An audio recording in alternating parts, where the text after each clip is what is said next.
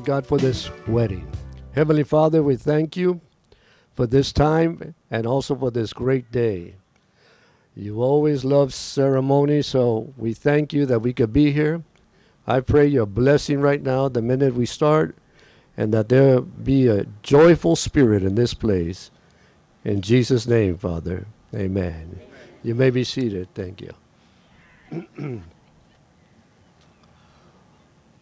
what an honor to be here today and to see family and friends here. We are happy that all of you have showed up.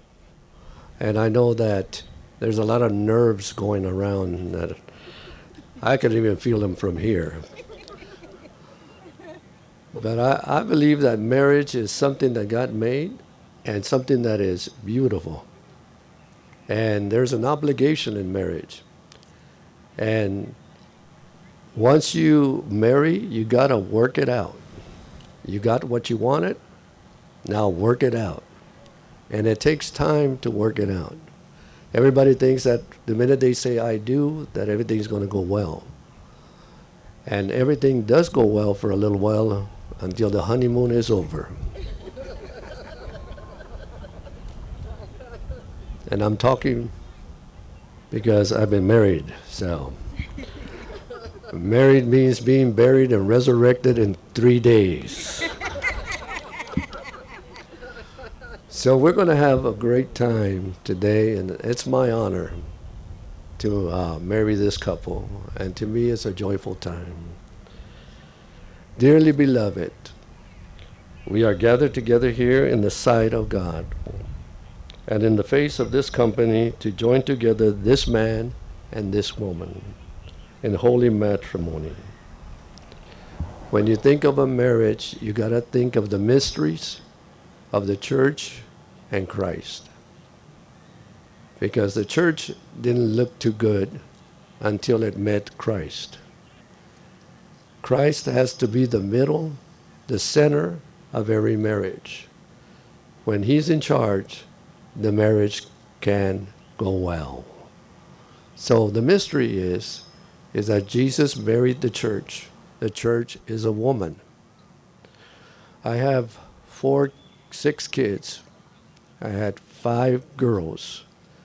And one man walked up to me and told me, You're cursed having so many girls.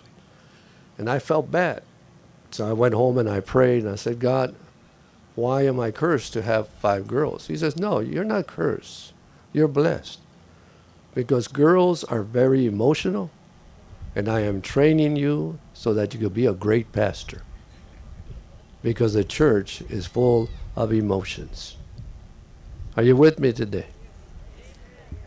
And to me, this is powerful to understand the love of Christ for the church that he gave himself for the church. And the same way that the that Christ gave himself to the church, the husband has to give himself totally to his wife and die for her. And that means sticking it out when things don't go well. So, Anthony, good luck in your walk. Amen. But one thing I learned about Christ is that he cares for us and he gives us humor and he gives us love so that we could continue going forward. So today it's a blessing. So Paul said that marriage is honorable and we shouldn't walk into it unadvisedly, but having the fear of God, having the fear of God. Because God is the one that can help you when your marriage breaks down. And I say this by experience. My marriage was breaking down, but I thank God for Christ Jesus that helped us. And we've been married for 47 years. So God is good. And we're getting younger. So it's beautiful to share your life with somebody for the rest of your life. And if we do anything wrong, we can ask for forgiveness. Everybody happy here? Mm-hmm. All right. so, I want to say four little words to both of you. I know you're going to look at her, but can you look at me right now, Arthur? Okay. Me, you only have for a few minutes. Right there's going to be a lifetime. Four little words. Keep in your heart. One is humility if you want to make this marriage work. If you could humble yourselves instead of getting prideful, arrogant, but just humble yourselves and work it out. And the other one is honor each other. In everything you do, honor each other. I mean, even in the smallest things, honor each other. Wake up in the morning and say, you're, looking great. Wake up in the morning and say, you're looking awesome. And keep honoring each other before yourselves and your relatives and your family and your friends. And they'll see something different and respect. Got to have respect for each other. That respect is important. And never fight and never tell what's going in your house to other people that don't know you because they'll blow it up. But have a respect to say we're going to have a fight, it's going to be decent, and if we mess up, we can run to our family, but we want to respect each other. And when I say a fight, I'm not saying duking it out. The power of words. That's what I'm saying. But respect each other. And here's the fourth one forgive each other. Oh, Jesus said that you got to forgive seven times 70 one day. So that's good. Because that means we're going to make a lot of mistakes. But we could forgive each other seven times 70 a day. So that works out even greater for us. And we're going to make mistakes. But forgiveness is everything. And thank God you got a big family that works with you. You got the Pena family, you got the Ortega family, that you can help each other and just move on.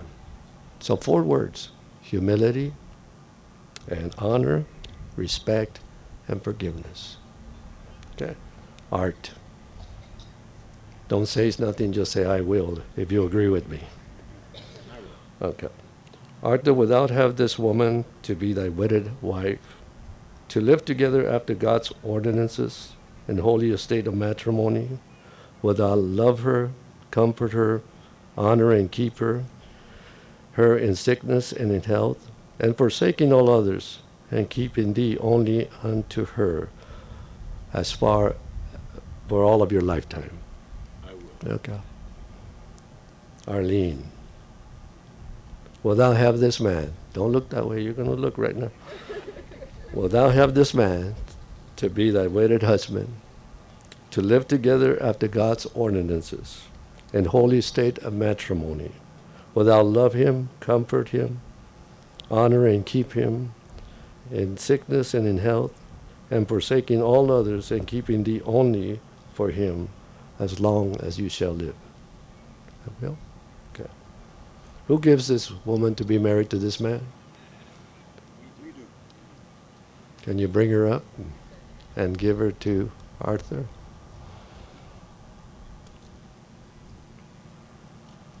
Okay, Arthur?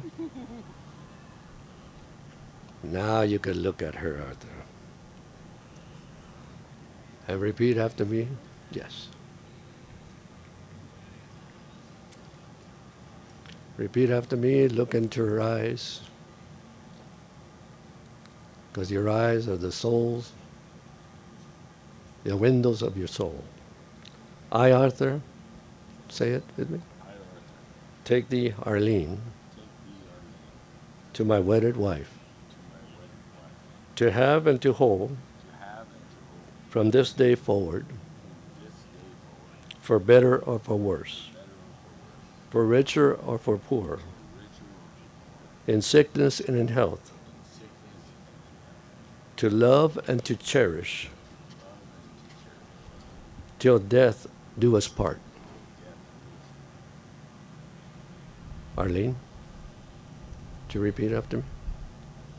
I, Arleen, I, Arleen, take the Arthur the to my wedded husband, to my wedded to have and to hold husband, to have and to hold from this day forward, for better or for worse, for richer or for poorer, in sickness and in health, to love and to cherish, till death do us part, accordingly to God's ordinances.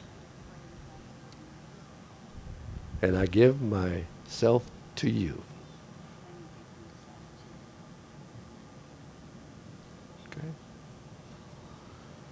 Ah, feels good. Who has the rings?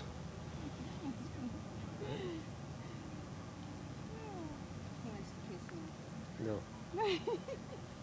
No kissing till after this. You gotta make it romantic. Here's the ring. Put it in her finger and don't don't put it in, just put it inside and just in the tip. Okay. And as you say these words, you put them in, okay? With this ring, With this ring, I thee wed, I thee wed, in the name of the Father, in the name of the and of the Son, and of the Son, and of the Holy Spirit. and of the Holy Spirit. Amen. Amen. Okay. Do the same.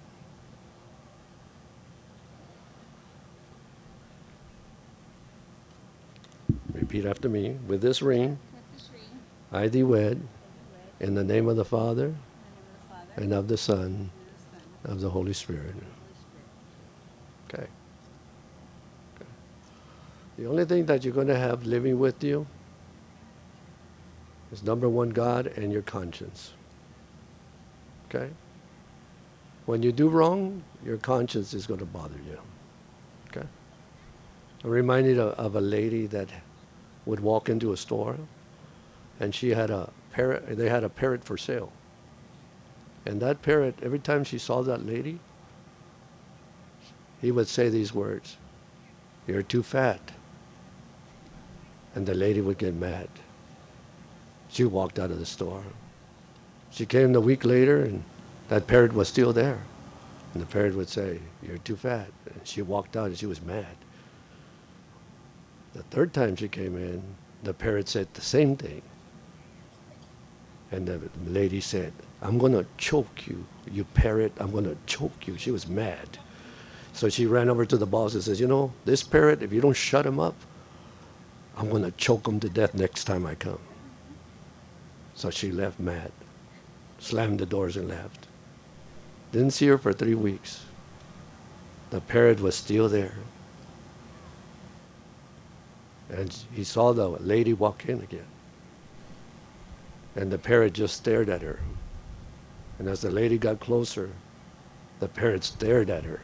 And she stared at him. And she was so anxious, like, say it, say it. And the parrot said, you know. She didn't say what she wanted to hear, but he said, I know, you know. So that's the way the conscience is. It will always tell you, you know, because you know that you violated your conscience. And that's where respect, honor, and forgiveness comes in when you respect your conscience. Or else you're going to hear the parrot said, you know. Okay. Right now we're going to walk and we're going to do the sand ceremony. And maybe both of you, if you can, somebody help her and go around.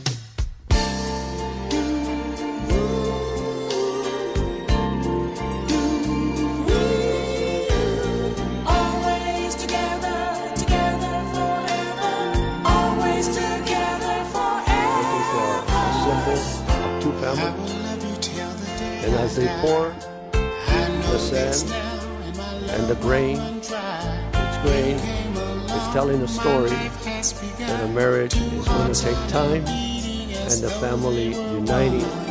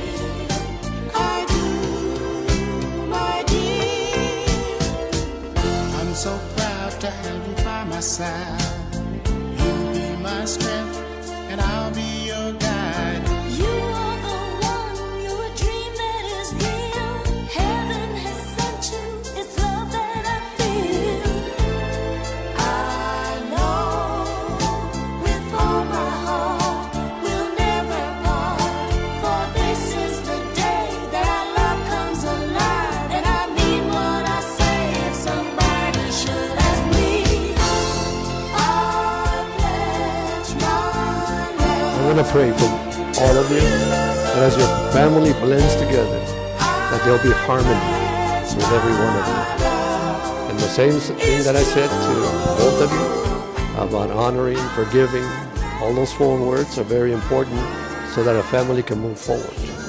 So I'm going to pray for you, okay? Just close your eyes. I wonder if the people of God can just lift up your hands and just go like that this way. Heavenly Father, I pray this blessing on this blended family. I pray your presence will be all over them and you touch them and that they will flourish in this family and become a great blessing. I ask you this in the wonderful name of Jesus. Holy Spirit, fill them with your presence in Jesus' name. Amen. Thank you. Okay, as you go back and both of you come forward, thank you.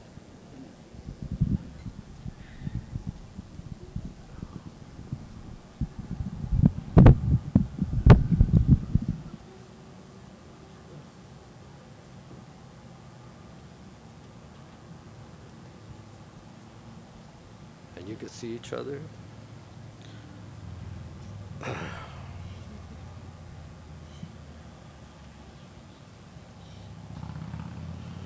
Those whom God has joined together, let no man put asunder. Today I pronounce you man and wife. You may kiss the bride.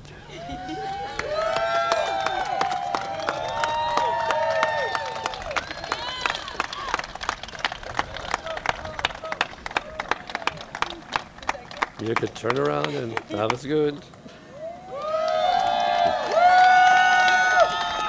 I present to you Mr. and Mrs. Ortega.